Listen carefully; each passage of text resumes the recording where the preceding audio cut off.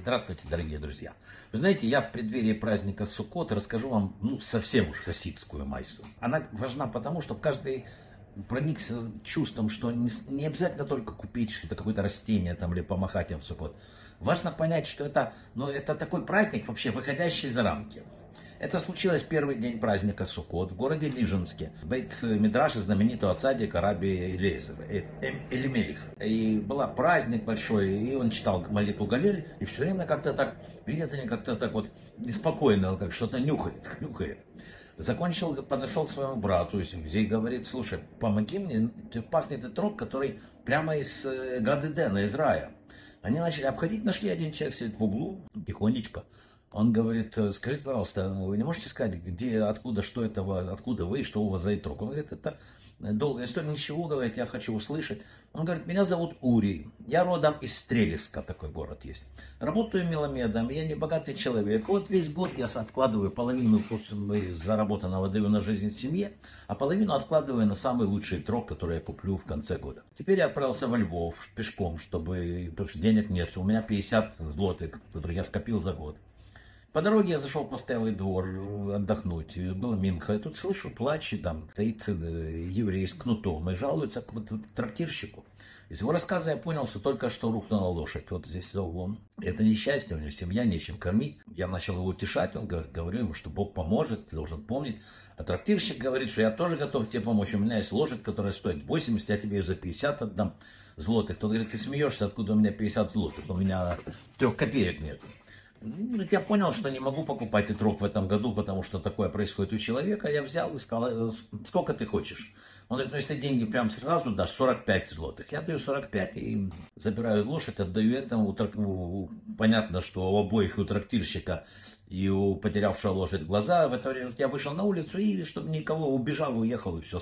Добрался до Львова за оставшиеся 5 злотых купил маленький обычный трог. А так как я обычно э, прихожу, у меня лучший трог в городе, все ко мне приходят благословлять, то мы с женой договорились, что я поеду в Лижин, где меня никто не знает. Такая у меня история. Раби Элемелих говорит им, нет, нет, Ребури, не так.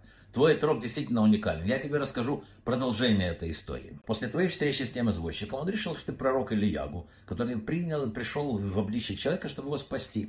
И он вышел на улицу, чтобы произнести молитву. Потом и он целую неделю ломал голову, как это. Малообразованный. Он вышел на улицу, обратился к Богу. Его прямо разрывало от счастья. Он говорит, что Отец Небесный, я тебя так люблю. Я не знаю, что говорить. Я тебя люблю больше жены, детей, люблю больше всех.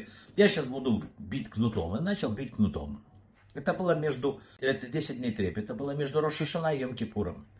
В Йом-Кипур написал, рассказывал великий Раби, Всевышний восседает где на троне правосудия. И он слушает. В это время там Раби Левиц и Ицкак из Бердича пытается защитить. Конечно, было много прегрешений. И вот когда такая телега в рай, он ее толкает еврейскими потом судьбами, и в это время появился сатан, стал и преградил дорогу грехами, которые совершили люди в этом году. Ничего не может сделать. Я с братом начал молиться вместе там, и все равно не можем помочь Левийскому. И тут мы услышали что мы слушали свист ну там. Так прямо на небе все его слышали. Это был уникальный свист, и все, все увидели, все ангелы, все, все остановились. И услышав вот этот свист нута, они все кричали «Счастлив царь, которого славят так». И появился написан ангел Михаил верхом на лошади в сопровождении извозчика с кнутом. И они прицепились к этой телеге и протолкали ее в рай, и Тогда, говорит, улыбающийся, ну, это все понятно условно, это надо понимать, это духовные процессы. Вот э, улыбнувшийся царь пересел на трон милосердия, так был подписан приговор на хороший счастливый дом всему народу Израиля. А теперь, он говорит, Ребури, знаешь, что все это произошло благодаря тебе, благодаря твоему благородному поступку. Это был тот самый Ури, который впоследствии стал известен как Ури из которого называли огненный э, ангел, у него были десятки тысяч последователей и, всего. Таким образом, что можно сказать? Суккот это праздник, он написан, у нас называется просто праздник, хак. Это как бы квинтэссенция праздничества, общая универсальная заповедь праздникам радоваться. И Суккот самый радостный праздник. Но при этом надо не забывать одну вещь, которую мы рассказали вот только что историю. Очень важно, чтобы радовалось сердце. Не получается, надо улыбаться, но все равно важно разбудить радость в сердце. Прохавы от слаха.